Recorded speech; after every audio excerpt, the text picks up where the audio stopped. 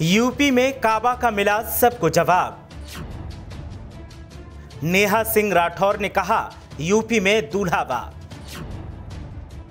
Social media sensation और लोक गायिका नेहा सिंह ने रचाई शादी।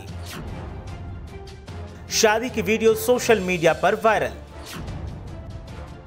देखिए कौन है नेहा सिंह राठौर का दूल्हा।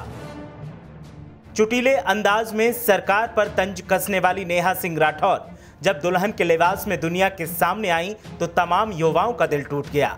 लेकिन जिसकी किस्मत नेहा सिंह राठौर ने दुल्हनिया बनके चमका दी, उसकी खुशी का ठिकाना नहीं था। यूपी में काबा और बिहार में काबा पूछकर सवाल उठाने वाली नेहा सिंह राठौर ने सभी को जवाब दे दिया और दूल्हे के साथ की फ़ोटो शेयर करते हुए कहा कि यूपी में दूल्हा बा। Social media sensation Neha Singh Rathore ने शादी रचा ली है। यूपी में काबा गाने से हड़कंप मचाने वाली नेहा सिंह राठौर बहू बन गई हैं उत्तर प्रदेश की। नेहा ने 21 जून को अंबेडकर नगर के रहने वाले हिमांशु सिंह से शादी की है। नेहा और हिमांशु की शादी लखनऊ के नीलांश थीम पार्क में हुई। शादी सादगी के साथ संपन्न हुई। शादी में कुछ खास मेहमान शरीक हुए और जश्न का हिस्सा बने। इस मौके पर हरे रंग की साड़ी में नेहा सिंह का दुल्हन वाला लुक हर किसी के दिल पे छा गया और तस्वीरें देखकर सब वाह वाह करने लगे।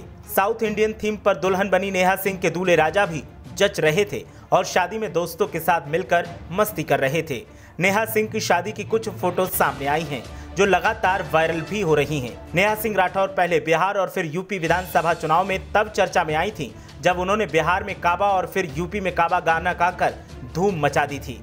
नेहा ने अपने गानों के ज़रिए पहले नीतीश कुमार और फिर सीएम योगी आदित्यनाथ पर हमला बोला था। नेहा सिंह सामाजिक मुद्दों पर जमकर सटायर करती हैं और सरकार को निशाने पर लेती रहती हैं। साथ ही छात्र और छात्राओं के साथ हो रहे अन्याय पर भी गीत गाती हैं।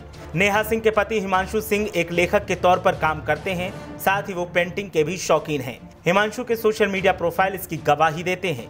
नेहा सिंह को मीडिया हलचल परिवार भी सुखी वैवाहिक जीवन के लिए शुभकामनाएँ देता है। ब्यूरो रिपोर्ट, मीडिया हलचल।